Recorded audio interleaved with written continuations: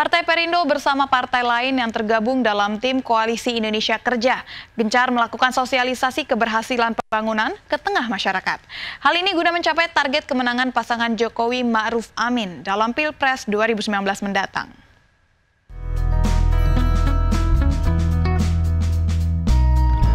Partai Perindo bersama partai lain yang tergabung dalam tim koalisi Indonesia Kerja semakin gencar melakukan sosialisasi keberhasilan pembangunan ke tengah masyarakat.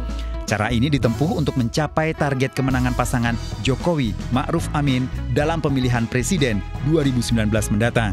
Dihadiri sedikitnya 500 anggota partai pendukung Jokowi Ma'ruf Amin, tim Koalisi Indonesia Kerja menggelar konsolidasi untuk tingkat Kota Madya Jakarta Timur.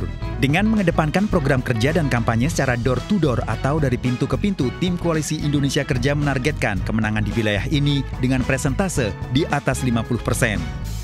Uh, sebab kami yakin sembilan partai pendukung ini memiliki aset penggalangan yang luar biasa sehingga pada kesempatan ini kita menghadirkan kepemimpinan partai sampai tingkat kecamatan. Kawan-kawan perjuangan kita di tingkat kecamatan akan menghimpun segenap jajaran partai pendukung sampai tingkat ranting, kelurahan, RW, RT. Uh, hari ini saya ceritakan dulu bahwa hari ini kita uh, rapat konsolidasi sekaligus pengukuhan uh, sembilan partai pendukung dan pengusung uh, untuk pemenangan Pilpres 2019 Jokowi Maruf Amin. Nah, kita akan memfokuskan dalam uh, apa? Dalam uh, tingkat RT, RW, begitu juga dengan TPS dan untuk itu juga kita harus uh, merampungkan semua pendukung semua uh, pengurus struktur pengurus KIK dalam uh, strategi nanti.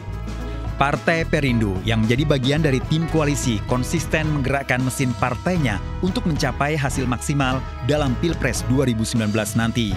Komposisi masyarakat Jakarta yang beragam dan berpendidikan tinggi menjadi tantangan tersendiri bagi tim koalisi untuk menciptakan kampanye yang membangun. Tim Liputan iNews melaporkan.